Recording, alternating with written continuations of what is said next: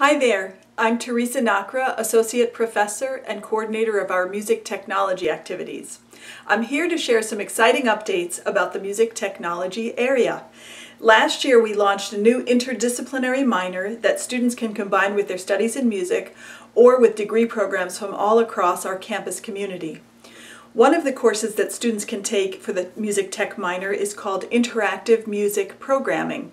This course introduces students to creative coding practices for music. Our goal is to make software tools that support and enrich musical skills such as composing, performing, improvising, or teaching music to kids. We learn the fundamentals of programming and apply them directly to creative musical activities. For a while now, we have hosted a yearly event called Music to the Max. The students get a chance to present their final group projects in front of an audience in the Mayo Concert Hall.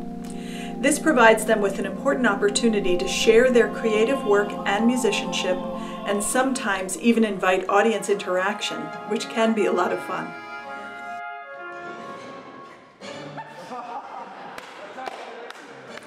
This spring, of course, we were fully online and were not able to present a public event at the end of the semester as we usually like to do.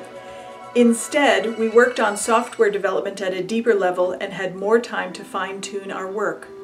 I am very pleased to now present four selected final projects. These outcomes represent the collaborative integration of both software and musical design by students in the course and I am so very proud to share their work with you. For our final collaborative project for interactive music programming, we were inspired by the outdoor jam sessions that Nick Keithzak and I would have uh, in between classes. We decided that we wanted to create a patch that was focused around learning how to improv. The project idea that we settled on was a program that would play a 12 bar blues chord progression, and while the chords were playing in the background, the user would improvise using the diatonic scales that were associated with that those chords. If the user played a note that wasn't in the diatonic scale, then the patch would flash red, in, symbolizing that the user played a wrong note. Our final project enables the user to interact with a jukebox blues machine that contains a variety of options for the user to manipulate and adjust their improvisation experience. Inserting a coin into the jukebox will begin a count off, followed by a 12 bars blues progression that would cycle through three times.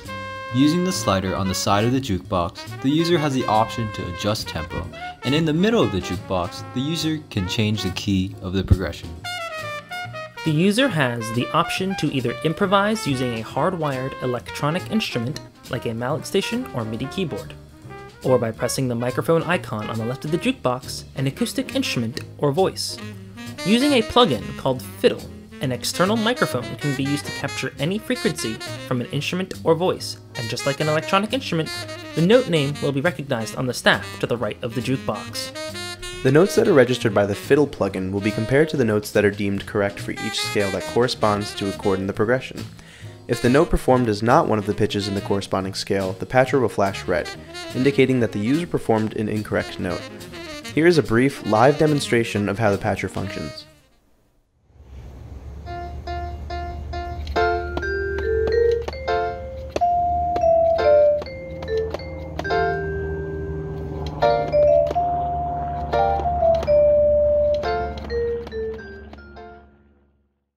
Our patch, we decided to take the creative aspect of the Monsters Inc. movie and create sub patchers based off of the doors that are used in the movie, with the central theme of Monsters Inc., the jazz chart itself, being the practice part in our patch. We have four different sub patchers, as well as a link to the score so that any student has access wherever they are. As you can see, there's not much to the home screen. All we have is four buttons that will take you to different sub-patchers, which include the improv room, the band practice room, the sectionals room, and the one-on-one room. Let's take a look both on the outside and the inside. Click on the improv room right here. And it brings you to this. It welcomes you with Sully. Um, it gives you um, a few steps, a little uh, kind of suggestion on a place to start in terms of improv um, to kind of just encourage the user. You have the option to go um, select if you want the backing track to repeat or not. So we'll click do not repeat. Um, here in step two, you can control the volume. Um, so here's the master control, and then you can um, change the volume of the individual instruments. Um, and so then for number three, you can pick um, the speed, the tempo that you want to play.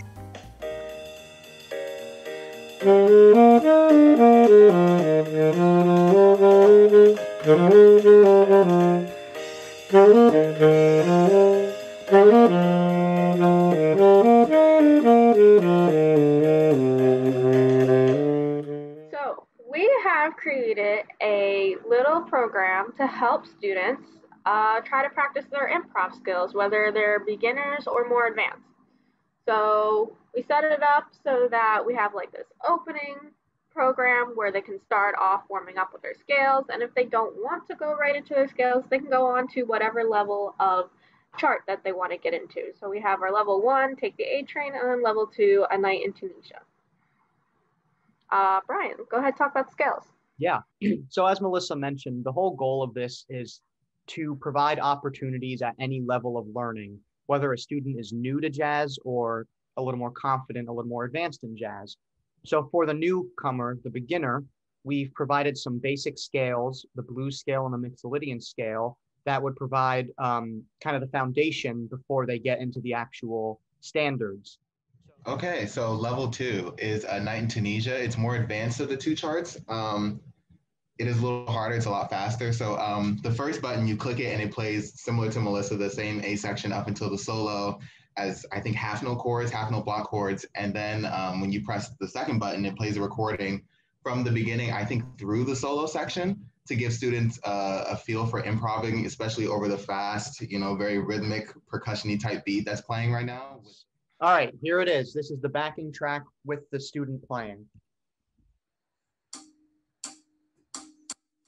Man,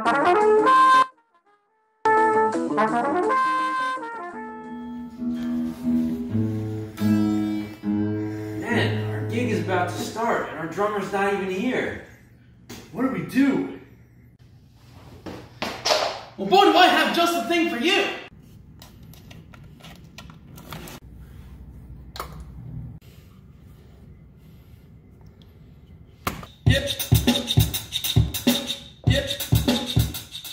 For our final project, we decided to make a fully customizable drum machine that allows you to upload any sound effects you like, make a beat, change tempo, and adjust the volume of the whole patch in each individual drum sound. At the top of this patch, you will notice that you have the option to choose your samples.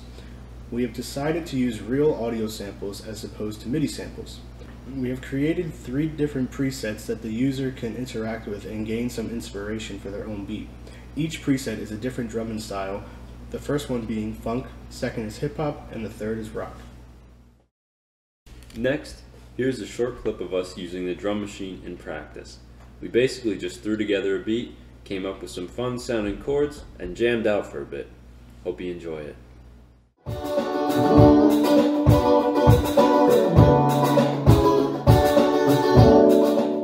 As you can see, this patch would be a great tool for any small performing ensemble, such as the one James, Joe, and myself put together just now. Also, we figured this could work well with any young student who wants to make their practice sessions a little more exciting. Thank you so much for watching, and I hope you had as much fun as we did.